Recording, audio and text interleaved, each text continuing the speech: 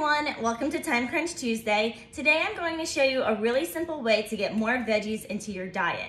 And if you sign up for my newsletters, you know that I add a challenge every month to make you healthier in very simple, easy ways. January was to drink more water, and February is to eat more fruits and vegetables. So one way that you could do this is just by taking a zucchini, which I really like. I feel like it's similar to spinach in that you could throw it in a lot of things and it doesn't really change the flavor, yet it adds a lot of health benefits to it.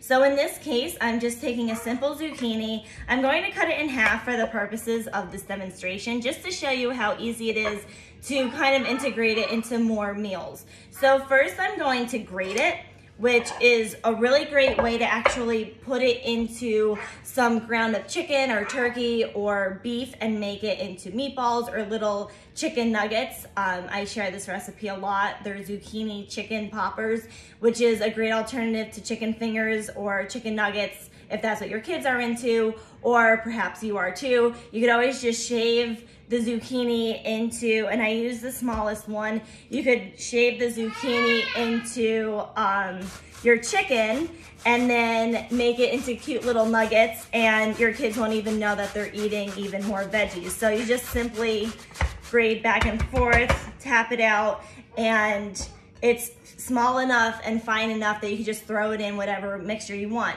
This is also great since, again, it's so, so thin and small. It's really great to add to pasta sauce and mix it in like a ragu. If you have meat in it as well, again, your kids won't even know the difference. You won't even know the difference and you get the added benefit of adding this zucchini to any meal. You could throw it into soups, honestly just making it so fine and thin you could throw it into anything and you really won't even know that it's there but you get the health benefits. The second thing that I like to do and I've shown this before is doing zucchini noodles. So this is a uh, spiralizer. All you do is take the zucchini. I'm actually going to do it.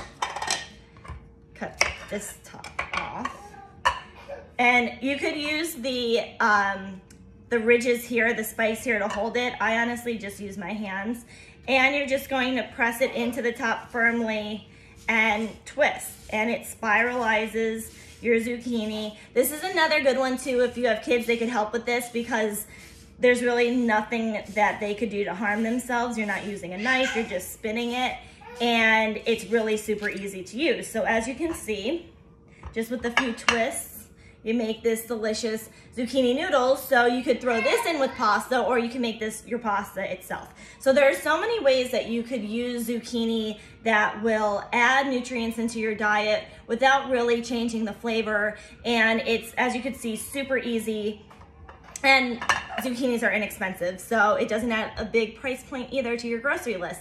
So that is my Time Crunch Tuesday tip of the week, getting more veggies into your diet in a very simple way. Um, and if you have kids that you feel wouldn't even eat a zucchini, you could hide it in there and they won't even know. So this is my Time Crunch Tuesday tip of the week. Thank you so much for tuning in and I will see you next week.